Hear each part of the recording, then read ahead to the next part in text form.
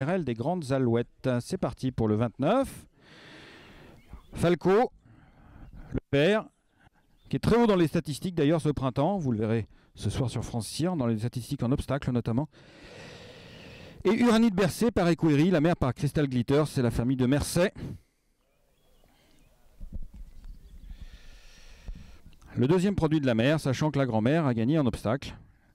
Elle a produit pas mal de vainqueurs en obstacle, notamment Manilou, qui compte 8 victoires dans cette discipline.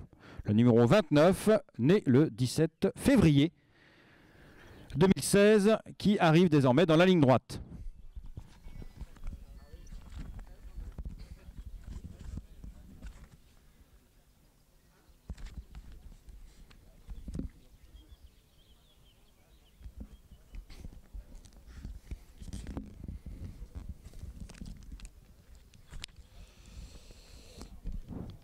On passe